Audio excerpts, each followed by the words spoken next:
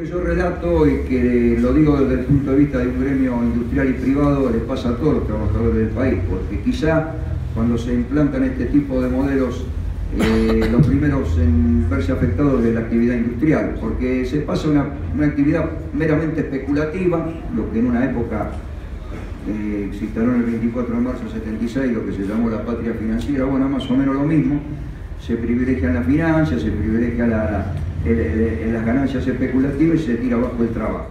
Nosotros creamos la mesa de agrupaciones políticos sindicales de la Ciudad de Buenos Aires y la creamos con un solo objetivo, el de recuperar el modelo económico, el modelo eh, de, inclusión, el modelo que teníamos anterior a la última derrota electoral y con eso establecemos nosotros nuestro compromiso a trabajar para eso. Pero también lo hicimos con otro objetivo, de pedirles a todos los compañeros que sean candidatos la unidad. Entendemos que no hay posibilidades de que el peronismo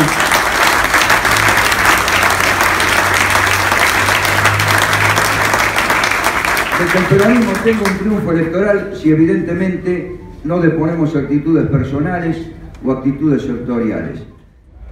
Este experimento oligárquico, como lo caracteriza Guillermo, está encontrando límites está encontrando límites al desarrollo de sus políticas. Está cada vez haciendo apuestas más fuertes en el manejo de la economía sin medir las consecuencias sociales que provoca. Cuando estamos llegando a tener un país que la rentabilidad en dólares, solo por llevar la plata al banco, es del 1,5% por mes. 1,5% por mes en dólares. Si alguien puso un millón de dólares el 2 de enero, se ganó 104 mil dólares el 2 de mayo. Fuerte, fuerte. Para sostener eso, el presidente del Banco Central lo ha transformado casi en una cruzada y casi, casi en sus declaraciones festejó la crisis de Brasil porque eso le creaba incertidumbre en el mercado respecto al valor del dólar. Lo dijo. El deslizamiento del dólar es una inmediata remarcación del precio de alimentos. Sin embargo, el presidente del Banco Central le pareció que eso era bueno y para sostener esta rentabilidad en dólares, el ministro de Finanzas dice que va a tomar 20 mil millones de dólares, 20 mil millones de dólares, que está preparando los papeles para salir al mercado a tomar 20 mil millones de dólares.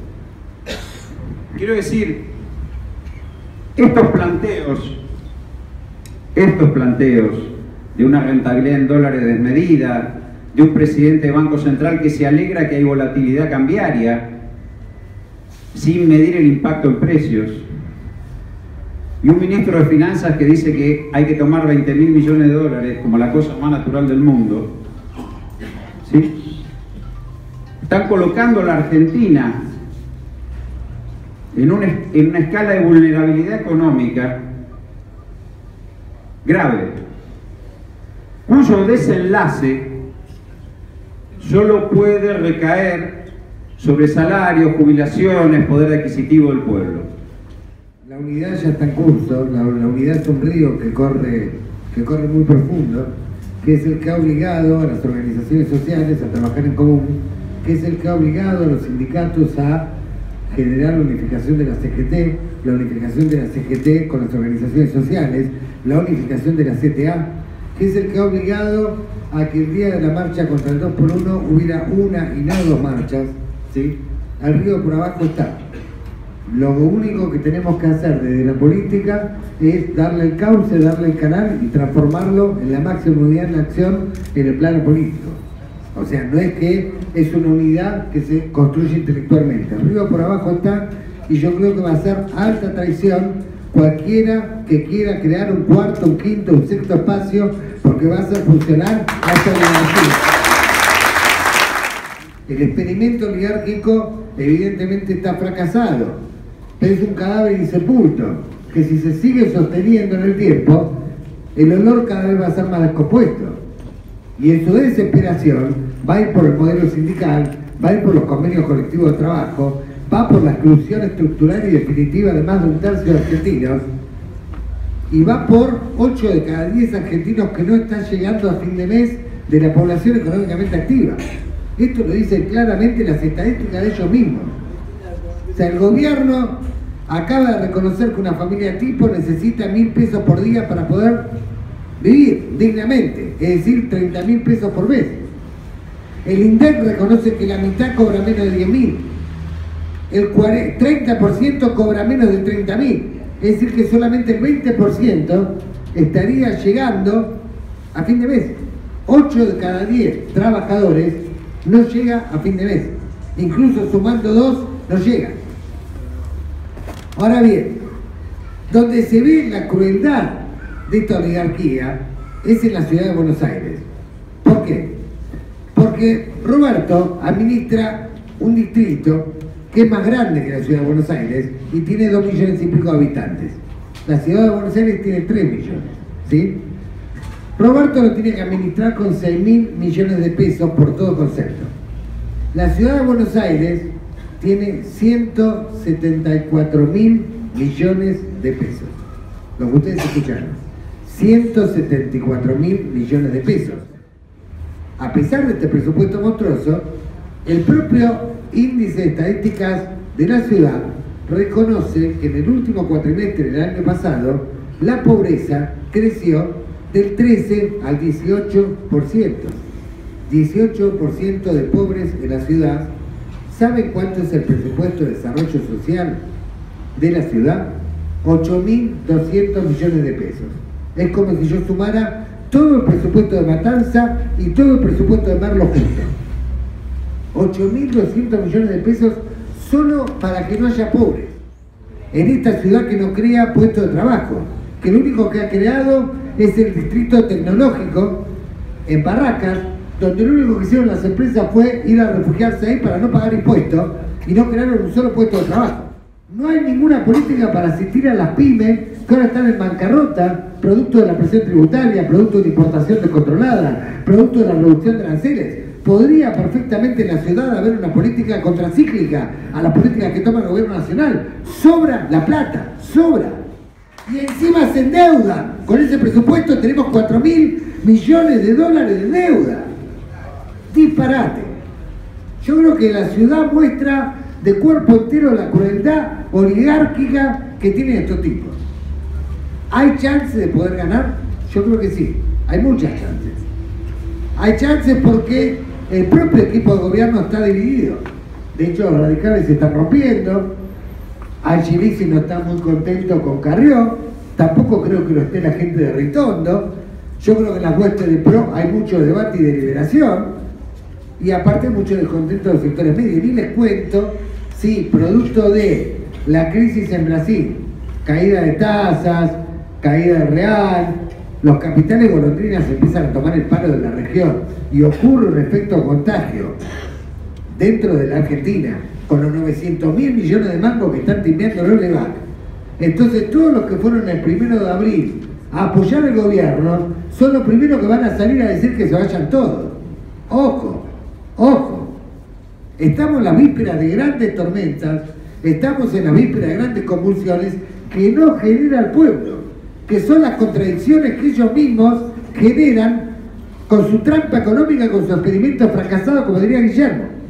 Entonces, la unidad que necesitamos es una unidad mucho más fuerte que un simple episodio electoral.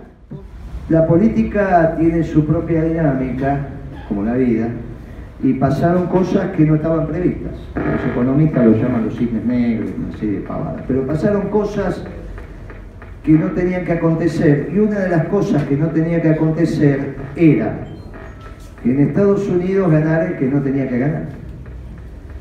Porque ganando el que no tenía que ganar, Estados Unidos empezó a administrar el comercio exterior. Lo primero que pasa en términos políticos en la Argentina es que se deprime Macri, porque los que éramos el pasado pasamos a ser el futuro.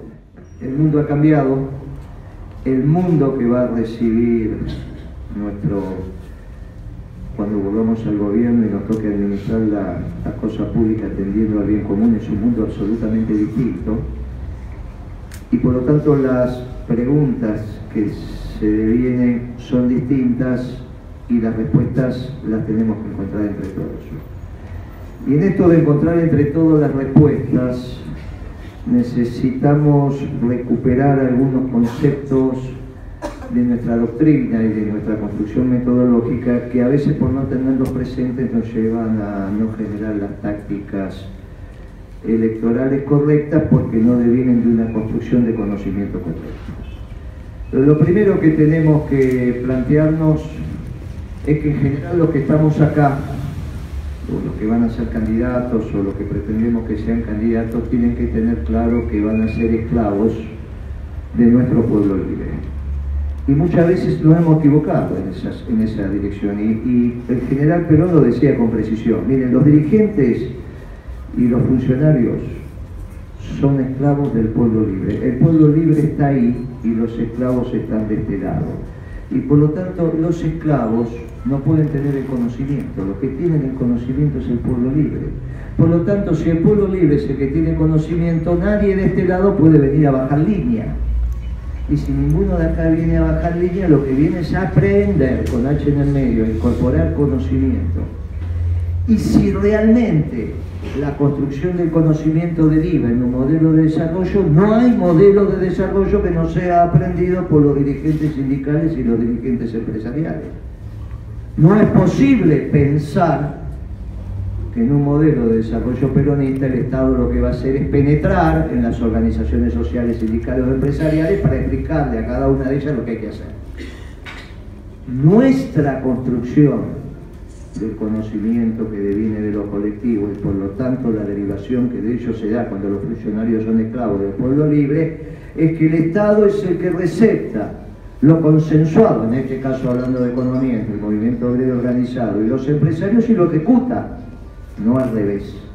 Fíjense cómo sencillamente ya no es necesario discutir el rol del Estado, porque tenemos claro cuál es el rol del Estado en la doctrina peronista y en la formulación de los modelos de desarrollo que se devienen de esa doctrina. Lo que tienen que hacer los funcionarios es escuchar. Y esto es lo que venimos a hacer. Cuando venimos a hacer esto, a escuchar y no a enseñar, aprendemos. Y cuando aprendemos, lo que ejecutamos es el conocimiento colectivo. ¿Qué necesitamos? Que el conocimiento colectivo se exprese. Para esto, lo que hacemos simplemente en nuestro país es a lo largo y el ancho del mismo, es de alguna manera repetir las mismas preguntas, para que ustedes tengan claro que van a ir emergiendo las respuestas y que en algún momento esas respuestas van a ser aplicadas en un plan de gobierno, que no es otra cosa que los proyectos, programas y planes que articuladamente terminamos definiendo el modelo. Y esto es lo que necesitamos construir.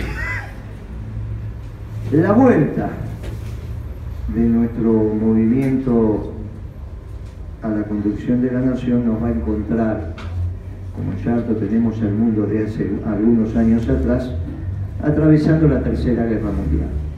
Lo dijimos nosotros, lo dijo Cristina, lo dice su santidad, y me parece que ahora ya no hay ninguna duda de que el mundo está atravesando la Tercera Guerra Mundial.